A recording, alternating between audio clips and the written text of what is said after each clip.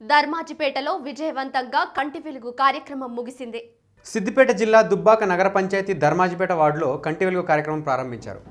ఈ కార్యక్రమంలో డాక్టర్ సాయిరాం మాట్లాడుతూ కేసీఆర్ తెలంగాణలో కంటి వెలుగు కార్యక్రమం మొదలుపెట్టారు. ఈ ఉచిత కంటి పరీక్ష ప్రజలందరూ వినియోగించుకోవాలన్నారు.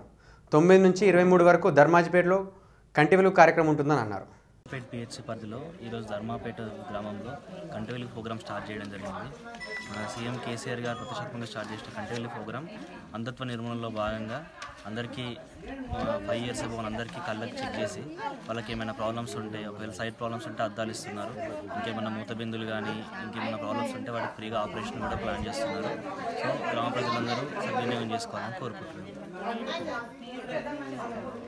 రాష్ట్ర ప్రభుత్వం చేపట్టిన అనేక సంక్షేమ పథకాల్లో భాగంగా కంటివేలు కూడా మరి తెలంగాణ ప్రాంతంలో ఉధృతంగా నిర్వహించబడుతుంది. అందులో భాగంగా రామకపేట పిహెచ్ఎస్ పరిధిలో గల ధర్మాయిపేట గ్రామంలో ఈరోజు కంటి వెలుగు ప్రారంభమైంది.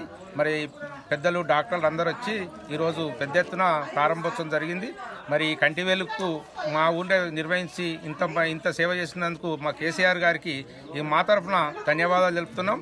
మేము ఈ- ఈ విధంగానే ఆరోగ్యంగా అందరూ అన్ని అన్ని సమస్యలు పరిష్కరిస్తారని మేము కోరుకుంటూ మా ఈరోజు మా గ్రామస్తులందరూ చాలా పెద్ద ఎత్తున సంతోషపడటం జరుగుతుంది. మరి ఇది సామాన్య విషయమైన కాదు కంటి వేలు కంటే ప్రతి ముఖ్యం ముఖ్యంగా మనిషికి కన్ను కంటే మెయిన్ భాగం కాబట్టి ఈ అందులు ముసలోళ్ళు వృద్ధులు